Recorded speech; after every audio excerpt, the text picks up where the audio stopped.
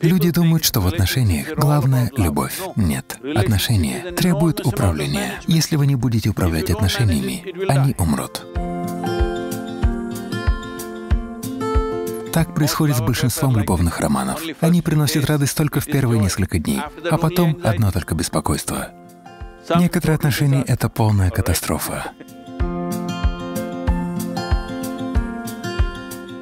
Я хочу дать вам ключ, с помощью которого вы без чьей-либо помощи сделаете свои эмоции приятными. Вам это интересно?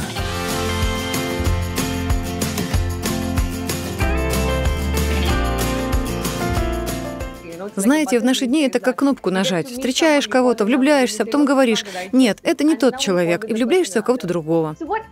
Так что же такое настоящая любовь? И может ли настоящая любовь случиться дважды или трижды? Я бы очень хотела это понять. Видите ли, есть то, что называют любовью, а есть то, что называют отношениями. Отношения происходят между двумя людьми. Это другое дело. Это определенного рода договоренность. Какие отношения? К сожалению, сегодня, если вы говорите слово «отношения», люди думают только об отношениях, основанных на теле. Нет. Если у вас есть брат или сестра, у вас с ними есть отношения. Но это не значит, что они телесные. У вас есть родители и есть отношения с ними, у вас есть друзья и есть отношения с друзьями. Все эти люди по ту сторону радиоэфира, с ними у вас тоже отношения. Со всеми людьми, с которыми вы общаетесь, у вас отношения. Таким образом, слово «отношения» не обязательно обозначает только телесные отношения. Но, к сожалению, именно так его использует нынешнее поколение. Когда мы росли, оно использовалось иначе. Но сегодня люди считают, что отношения — это иметь с кем-то роман. Так что отношения — это другое дело, потому что в них участвуют два, три или десять человек. Сейчас у всех вас есть какие-то отношения. Это группа людей, состоящих в отношениях. Семья — это тоже группа людей, состоящих в отношениях. То есть это определенная договоренность, обмен. Обмен может пройти хорошо, а может пройти плохо. Любой обмен, каким бы продуманным он ни был, иногда идет не так, как нужно. А иногда все проходит отлично. Потому что в этом участвуют два разных человека или даже десять разных людей. Даже если взаимодействие происходит только между двумя людьми, остальной мир так или иначе участвует в этом. Не раз человеческие отношения разрушались не из-за двух людей, а из-за третьего, четвертого человека, находящегося где-то в другом месте, который тоже может как-то повлиять. Такие вещи происходят. Но сейчас, говоря о любви, давайте отделим любовь от отношений. Любовь — это то, что происходит внутри вас. Отношения — это то, что вы делаете в мире. То, что вы делаете в мире, всегда подвержено влиянию разных сил. Любой обмен, который мы совершаем в мире, подчиняется различным обстоятельствам.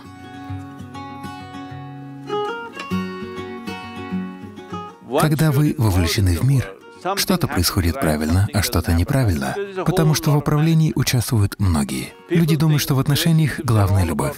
Нет. Отношения требуют управления. Если вы не управляете отношениями, они умрут. Если вы не управляете отношениями, они развалятся. Но любовь — это то, что происходит внутри вас. Она не зависит от внешних сил. Но сейчас, к сожалению, люди позволяют ей быть зависимой. Но на самом деле, то, что происходит внутри вас, сладость ваших эмоций, не должна определяться кем-то другим, не так ли? То, что происходит внутри вас, должны определять вы. Вы не можете определять все, что происходит в мире. У вас есть какая-то роль, но очень многие люди участвуют в этом. Или, если отношения между двумя людьми, то каждый из них играет в этом роль на 50%. И так влияет множество вещей, как люди это воспримут, что произойдет, какая будет ситуация. Но то, что происходит внутри вас, должно происходить так, как вы этого хотите. То, что вы называете любовью, это то, что происходит внутри вас. Но, к сожалению, люди говорят вам, любовь витает в воздухе. Это означает, что воздух загрязнен. Должно быть, это воздух в Дели. Но даже в Дели сейчас, как мне сказали, чистый воздух. Я давно там не был. Так что любовь не в воздухе. Любовь — это то, что происходит внутри вас. По какой-то причине ваши эмоции стали сладкими.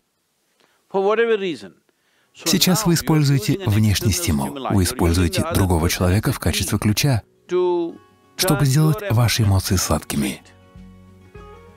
Я хочу дать вам ключ, с помощью которого вы без чьей-либо помощи сделаете свои эмоции приятными. Вам это интересно?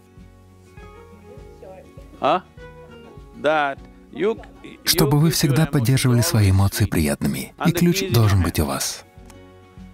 Как только вы отдадите ключ кому-то другому, возникнет беспокойство, что произойдет, что произойдет. Так происходит с большинством любовных романов. Они приносят радость только первые несколько дней, а потом одно только беспокойство. Некоторые отношения — это полная катастрофа. Все зависит от того, сколько у людей здравого смысла. Но по существу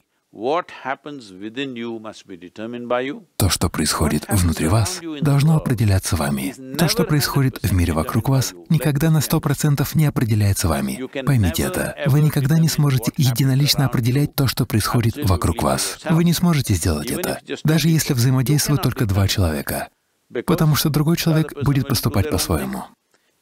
Если ключом от вас владеет кто-то другой, а не вы, то иногда вас откроют, иногда закроют, и потом выбросят ключ. Тогда вы говорите, любовь — это катастрофа. Любовь — не катастрофа. К сожалению, отношения всегда могут стать катастрофой, но не нужно воспринимать их так. Просто иногда человеческие отношения не работают. Не обязательно между мужчиной и женщиной. Даже между братьями, между сестрами, между родителями и детьми, между друзьями они не работают. Разве это не правда? Отношения не работают по самым разным причинам. Но сейчас, когда у вас есть эта несбыточная идея, что кто-то другой должен сделать ваши эмоции приятными, вы определенно будете мучить этого человека, и завтра утром этот человек наверняка исчезнет. Так что необходимо понять, что любовь — это ваша прерогатива.